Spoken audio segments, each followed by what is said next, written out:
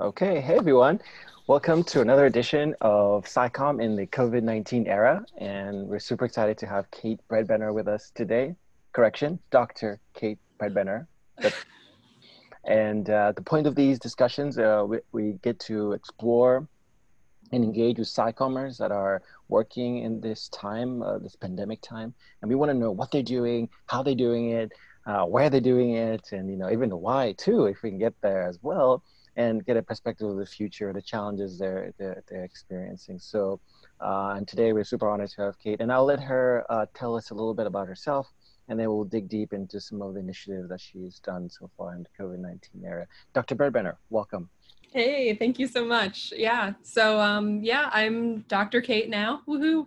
Um, so I uh, went through the whole virtual defense thing. I'm part of that whole uh, group of people all across uh, the entire world now that does not get a graduation because uh, of coronavirus. But um, it's great to be so connected virtually, uh, and I and I think we're gonna, in some ways, learn a lot about how to stay connected with people around the world that we didn't have before.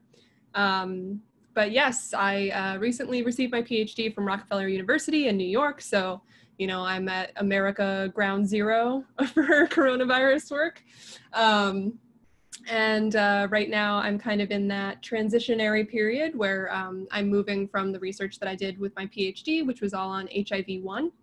Uh, and now I'm looking for new positions. Um, so I'm also part of that uh, whole community of people that are looking for a job in the time of coronavirus. So um, yeah, it's never too far from my mind with my virology training, but also with my life transitions at the moment. Uh, so yeah, that's bringing me in. Um, but I also work in SciComm, so I run a YouTube channel called Simple Biologist that takes new papers um, published from the world of biology and turns them into fun animated videos. These videos are generally designed for adults without science careers, but they're basically appropriate for anybody that knows about cells or you know, DNA, so anyone from middle school age up. Um, and I animate them myself and um, put them out there for the world to see. So, yeah, that is, that, that is so cool. Um, so tell us a little bit. So I, I'll say this that we should probably have you back at some future point to discuss your own career trajectory because I know I think ah yes, you know, the fun discussion. Ooh, so fun! Yeah, I've uh, yeah, it's always fun to talk about all the things that you can do with a PhD because a lot of people start uh, the PhD program and think, yeah, I'm going to be a PI, and then realize, you know what, maybe this isn't for me, and then you know have that crisis moment of what am I going to do? But there's so many options out there, so it's always great to hear from people that have gone through, made their own way, um, and found their own path. So, yeah. but for another day. Serious, serious. Okay, so simple biologist. Um, so you actually recently put out a video, a COVID nineteen video, I believe, right? Uh, yeah. The, tell us a little bit more about what your efforts have been in that space so far. Yeah, for sure. So, um, coming from kind of the virology background, from studying HIV, uh, and for making these videos for you know over three years now, um, I was scared of coronavirus. Um, like a lot of my friends had anxiety, my lab shut down, you know, I was at home.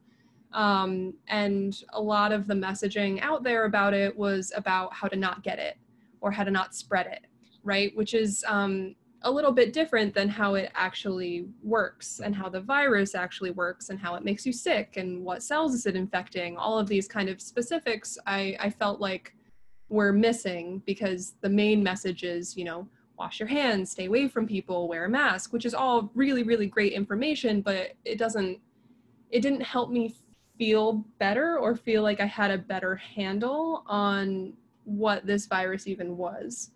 Um, so I thought, okay, well, let's make a video on that. That's the kind of stuff that I do uh, all the time is is look at the molecular level and see, okay, how does this stuff work? Um, so I read about coronaviruses in general because they're a whole family of viruses where, where COVID 19 and um, I guess SARS CoV 2 is the specific virus name, right. um, where that's only one type of coronavirus. But um, there's a lot of coronaviruses that cause the common cold every year or that are um, kind of a big problem in livestock. Uh, like if you're a farmer or you know anything like that, you know coronaviruses are something that you're aware of. Um, but because they're a big family, they they all have a lot of stuff in common. So I read um, quite a few papers on on you know the virology of of coronaviruses, what they do, you know how they function, what kind of genome do they have, what kind of proteins do they make, you know how do they make more of themselves, um, and then turned that all into a video on how do coronaviruses work in general. And then if you know how they work in general, then we can see what's different about SARS-CoV-2 that's causing COVID-19 and see, okay, what was the change here? Because I think that's um, part of what people are looking into to try to figure out new treatments or, you know, even vaccines are what's different about this virus now than all the other coronaviruses that we've ever seen before.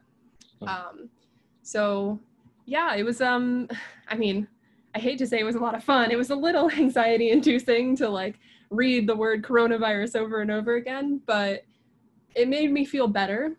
Um, kind of understanding the virus, understanding how it works, understanding you know why people would go into respiratory failure because it does infect the the cells that line the bronchial tubes and you know it does cause a lot of inflammation and that inflammation isn't always great for breathing um, so you know it made me uh, feel a little bit more empowered in my understanding of this virus, um, which I hope then translated to any of my audience members or anyone that watched the video that they feel like, you know, it's not just this scary, nebulous thing that's out there that they can actually understand and, you know, incorporate how the virus actually works. I find it interesting that you you, use your internal motivation, right? Your own drive, like say, I I want to know these things as well, right? And you're yeah. it's by training as well, right? Mm-hmm. So from a really you know detailed insight in a way, right? Yeah. Uh, which I think is really really cool. So, your audience, would you say, what were you targeting this video? Yeah. So, I mean, in some ways, I'm my own audience, um, which is kind of funny. So I I mean, I try to make these videos with me, my friends, my family in mind. You know, what do we like? What do we think is funny? Like, what what are the videos that you watch on YouTube that you can't get enough of? Um, you know, what do I want to know? What are my friends asking about? What is my family asking about? Because I um I come from a family of non-scientists. Um, I grew up in rural Pennsylvania. I'm uh, the first person in my family to go to college, let alone become a doctor. Um, so, you know, I've got that sense of what's missing from the news or from, you know, a, a daily discourse that those kinds of people might want to know. Um, so I tend to focus on adults that that just don't have science careers, but I treat everyone as if they're smart because they are, right? Like nobody's nobody can't understand the information that you're telling them. It's just usually this isn't the kind of information that makes it into the news because it's you don't necessarily need to know it to be safe. But i find it very reassuring to know these things to know how something works makes me feel better about it rather than for it to be a mystery. Okay. um, so your audience is i guess adults in a way right? Mm-hmm. uh, broader sense. Yeah. um, and um, in, in a way, like you've made how many videos so far? Ooh, how many videos have I made? Probably over 20, at least over, uh, um, but not on coronavirus. I've made one video on coronavirus specifically. Do you plan to make more uh, on COVID-19 or? Yeah, so that's the question. Um, so YouTube right now is doing something rather unique in that they are not promoting any videos or suggesting any videos that seem to have anything associated with coronavirus, COVID 19, mm-hmm. um, pandemics, anything like that. Um, because there are so many videos that are misinformation. Right. Um, so, I mean, I shared my video among my network, and obviously, my subscribers get a ping um, when I created the video. But I think um, in the future, you know, if we if we find a treatment that is extremely effective, or we find a vaccine, or you know anything of the sort, um, I would want to make a video on that. Okay. Um, but I think for now, having the information about how coronaviruses work. Um, and I feel like in some ways any video I make would be outdated almost immediately because everyone is working on this thing. Um, so, you know, we find information one day, and by the time I make a video in, you know, three days or so while I fit it in between my work, uh, you know, it's already like, oh, yeah, we've known that forever. Here's the new stuff, right? Um, so, uh, you know, I think in the future when when people are calmed down and they want to know, you know, okay, now this vaccine is out there, you know, how how does that work? Like what I know how coronaviruses work from your last video, but you know, how does the how does the vaccine or the treatment or or whatever you know we end up with um, how does that fit in? Um, that might be a video that i would be interested in making too. And you make a good point. Things are changing so rapidly right? Yeah. You and, and i'm curious for your first video. I mean things you put on there i mean are they still valid in a way? Like this is how it works and and you know is it still true now? And how do you navigate that space where things are going to change? You put something out now and how do you communicate that to your audience yeah so that was part of the reason why i chose to make a video as broad as i did mm-hmm. so i made it about the coronavirus family mm-hmm. right so these are fundamental facts about what it means to be a coronavirus and fit into this whole family of viruses so those are facts that are not ever really going to change because if those facts change then it's no longer a coronavirus it's something you know totally different mm-hmm. um, so so that video is going to maintain consistency but anything that you make about um, you know about possible drugs and how they work or you know um, any, anything that is kind of an up and coming treatment or anything like kind of medically associated or anything that is very preliminary on how SARS-CoV-2 is different from any of the other members of the coronavirus family. All of those things are kind of in flux right now as we reach a scientific consensus. Um, because, you know, not all research, you know, is 100%. We need we need a consensus around things. Maybe someone finds something and then it can't really re- reproduce anywhere else. So, you know, we need to all work together to find out, you know, exactly what's different here and exactly what's going to work. Right. Um, so that's a dangerous place to be in for communication unless you're doing these constant, really quick updates. Like it takes a while to make a video that's going to be of good quality and that and that you want to put out. Um, but I've seen some very good Instagrammers who, um, you know, put out on their stories, mm-hmm. and and that's something that you can do kind of very quickly to say, you know, hey, I read this paper you know let me let me just give you a quick summary on it and what people are thinking. It's a little bit different than going through and illustrating a video and, and recording all of those things. It's more of a of a snappy quick update kind of thing. Right. Um, so it really depends on the medium of communication that you're working in as to how much you're on the on the front line explaining all of these new findings that are coming out versus um, what i do is kind of give the baseline of, you know, here's what we know on the molecular level about this whole family. Right. Um, and that's going to be true for whether you're looking at SARS-CoV-2 or, um, you know, any of the SARS viruses from the past, MERS from the past, you know, it's, it's true for all of them. That's really cool because we, we had Siva, our last guest, who was talking about tackling misinformation. You know, so she's based in India and, you know, the WhatsApp groups where they're popping up all these theories, and so what's on the go where they okay, this is let's try to debunk this thing. So it's like yeah. on the spot. Let's get a, an expert to come in, and then you have also uh, we have the CEO of uh, uh, Sigma Xi who came in and was talking about having to go back on their videos that they put out to the community and updating them, and it's actually celebrating the idea that we should that that aspect of science, right? That that it's updating right? Yeah. It's actually a good thing. yes, uh, for sure. It's really cool to see the different levels that each of you, the SciCommers, if you will, that are tackling this uh, problem. And by my understanding, what you just said, you're mm-hmm. at the high level where you know these things. What you're communicating essentially are the the, the, the almost like the laws or the coronavirus. right. Yeah. That are most likely not going to change, but they need to be communicated so people understand. Mm-hmm what that is. Um, so so that's actually fascinating. So you're looking to to continue that uh, direction, like this um, education, you will, right? Uh, yeah, yeah, and I think um, I mean in all the videos that I make, usually what I do is I take a, a new paper, a new finding, something that's come out that's, you know, changed our worldview in some way.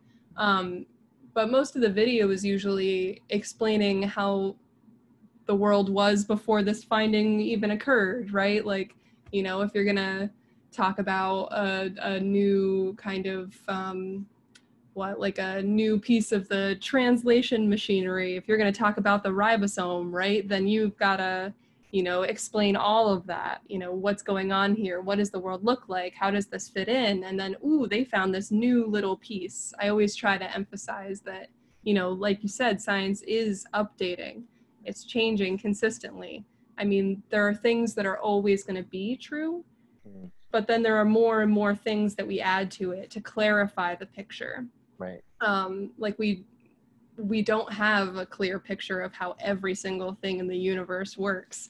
Um, but we do know, you know, certain bare facts on how things work. Um, that you know, DNA is translated into RNA, is made into protein, and sometimes there are some exceptions there. But but you know, that's that's generally the mode on how things work. Um, so you know, emphasizing that yes, there are things that we know because of scientific consensus, but then people are constantly adding in new information to clarify our picture there.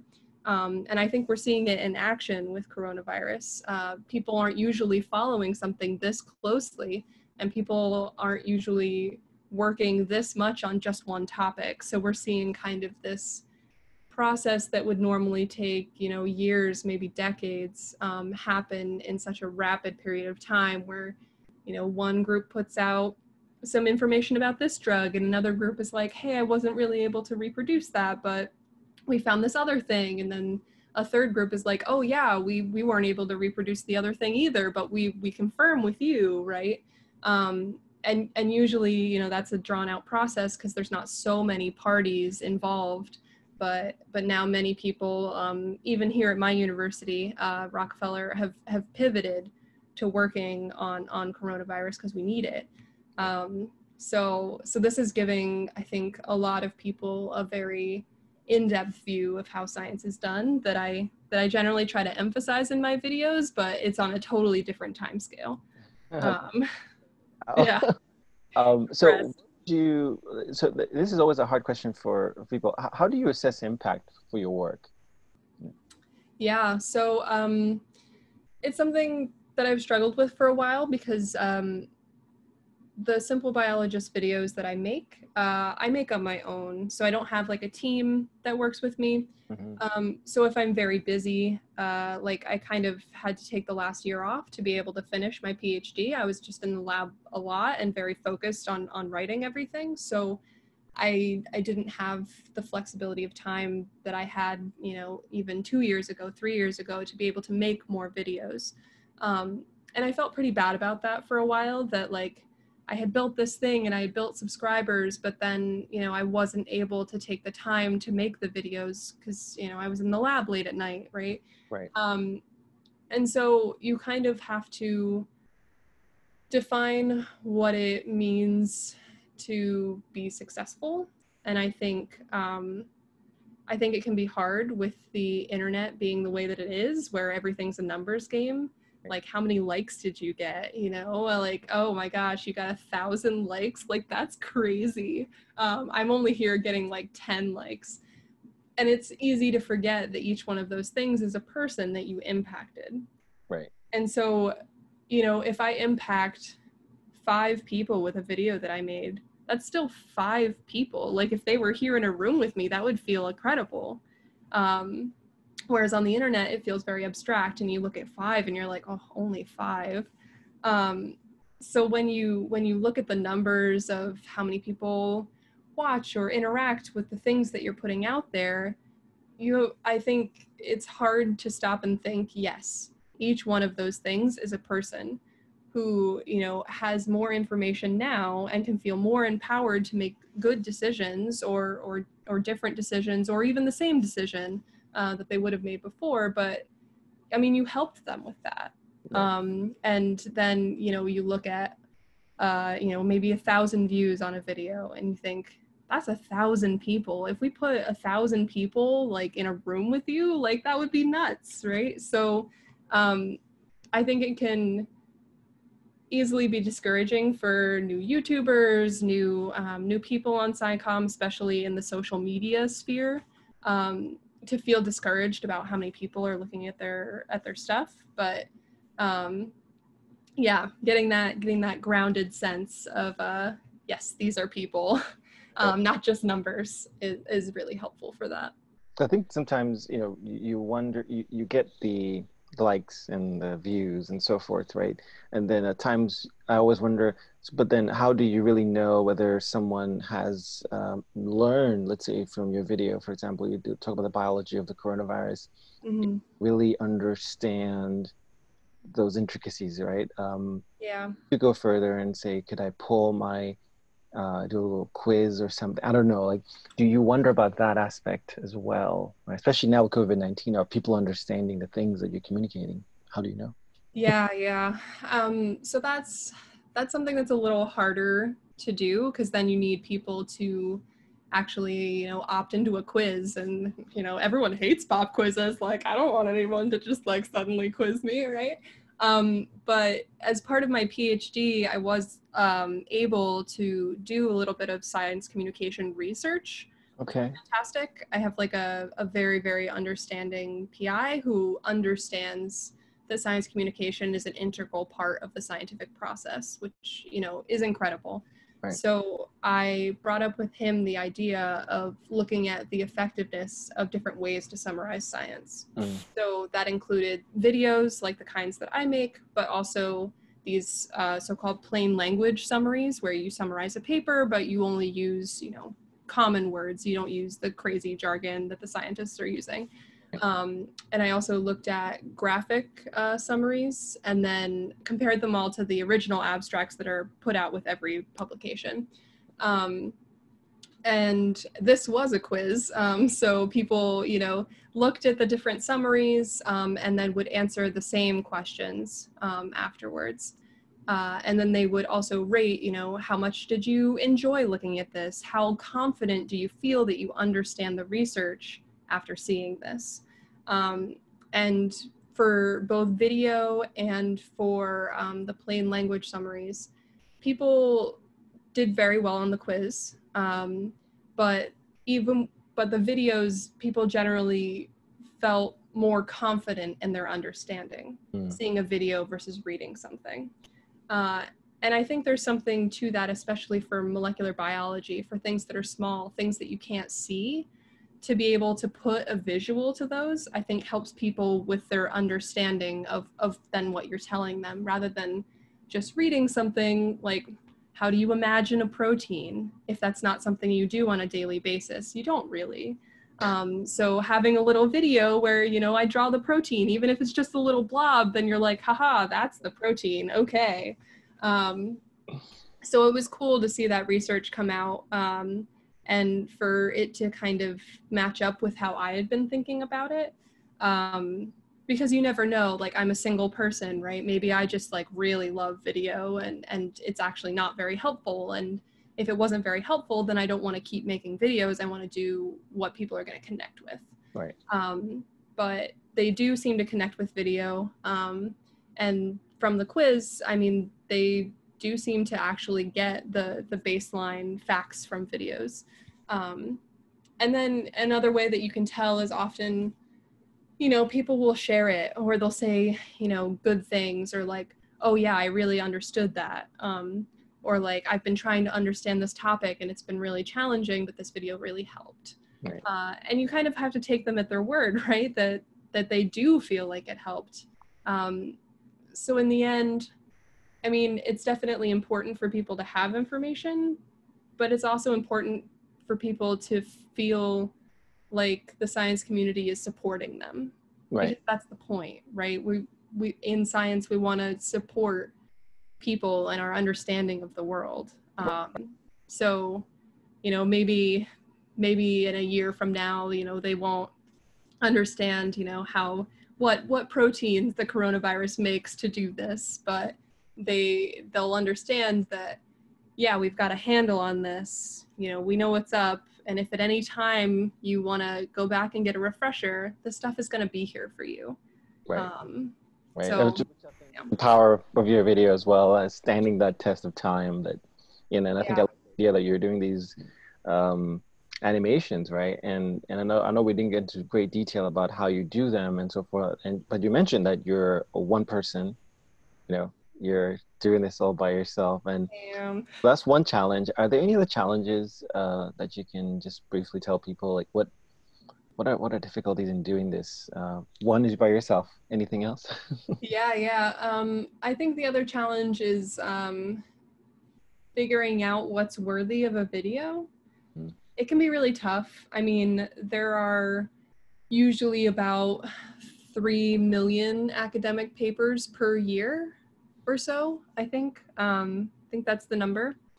Uh, I, I've like kind of tried to grossly calculate it one day. Um, and I think it ends up being um, one paper every three minutes is published it's a lot which is just a lot like you know even if you're in one very specific field it can feel very daunting to keep up with every publication that comes out in your field. And that's something that i had a really hard time with studying hiv right. Because it is this global problem. A lot of people are working on it on many different levels on, you know, immunology, on on social, you know, how to how to prevent it um, you know, by by communication and education. right But then also, you know, on the structural biology level or on the molecular level, you know, there's so many papers that come out regarding HIV. So how do you sift through that? um, and that's always really tough is identifying the gems uh, or or the papers that you think are just so cool um, right and and and that's part of the way that i decide is you know did i read this this paper and go like wow. Um you know or or you know did it make me so curious about stuff? Um like i did a video once on the plant immune system. That's something i never thought before like plants they can't social distance they can't go anywhere. So like you know if your neighbor tree is infected you you're not going to be able to walk away from them. So how does the plant immune system even work? Um, and that was something that you know it's it was just not part of my knowledge base at all. And i thought well if i've never thought about it i'm sure a lot of people have never thought about it. And you know we've got plants in our house and we look outside and we love when it's green and spring is wonderful. So like um, you know that was that was an easy choice to make uh, because it instantly fascinated me um, so yeah I, I mean i read I, I like kind of cursorily read a lot of papers Mhm. um, but i look for the ones that make me be like huh i never really thought about that or ooh i've been wondering about that for a while like you know how how do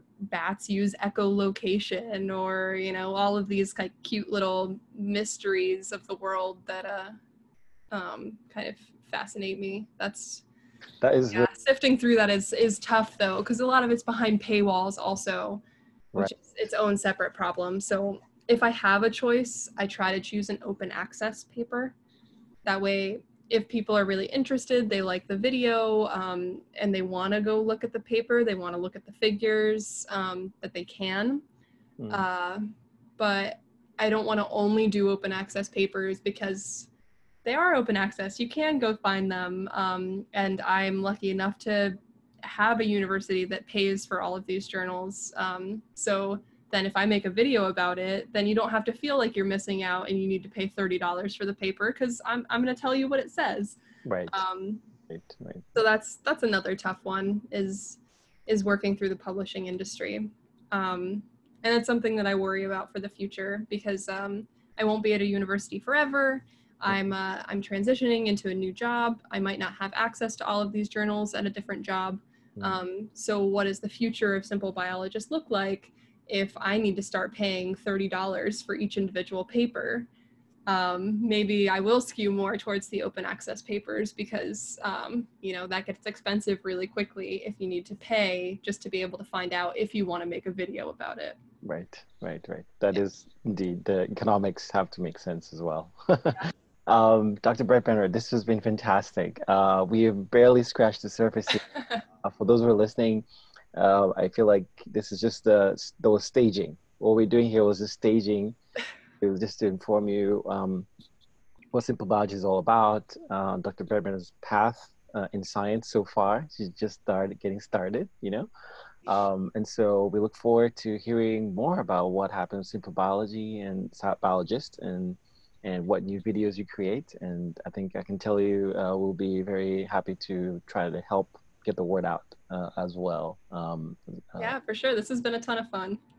yes, I really appreciate you taking the time to chat with us. Um, for those listening, uh, thank you so much. We will share. Do you want to tell people sort of how do they get in touch with you? Twitter, uh, what are you know? For sure, yeah. So I am on Twitter, Facebook, YouTube, and I also have the website simplebiologist.com. And from there, you can contact me if you have an idea for a new video that you want to see, or um, if you want to talk about anything further. I'm always available. Um, so YouTube, Simple Biologist, uh, they're, yeah. And you can also Google my name. I am, I'm on the internet. You'll find me. Indeed is on the internet. Uh, and I did that too. So we'll put all those details in the info below on YouTube once we post this. Uh, thank you so much, Dr. Bredbenner. Yeah, thank you.